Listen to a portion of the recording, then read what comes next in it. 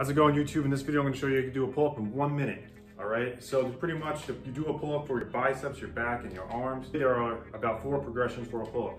So the first one you wanna do if you can't do a regular pull-up first is you do negative pull-ups. So you're gonna grab the bar or your uh, gymnastics rings, I got gymnastics rings, and you're gonna go slowly down about four seconds. So that's one rep, and you're gonna keep going.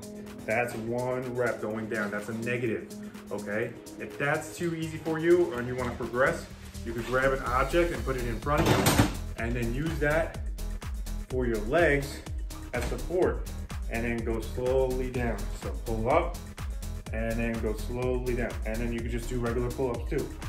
Okay?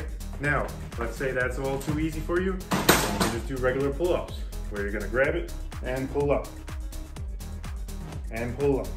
Okay? Now, let's say, well, that's too easy for you. You could also do typewriter pull-ups. Pull up, side to side. All right, and that's how you could do a pull-up one minute.